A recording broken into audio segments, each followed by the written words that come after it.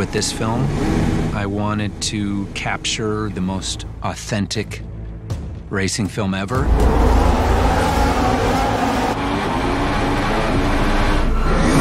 It's lights out and away we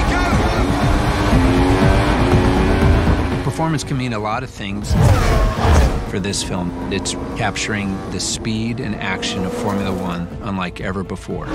We need the cars to perform every day, and Aramco was an incredible partner. We've got race cars that are performing probably 100% more than they should be. And so to make this movie, everything is engineered within an nth of its life.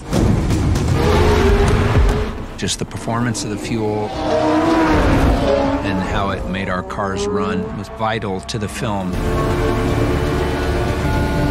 Push, Joshua, push! Aramco really stepped up. I mean, we are at the pinnacle of motorsport. This has never been done before. We couldn't have done this without their support.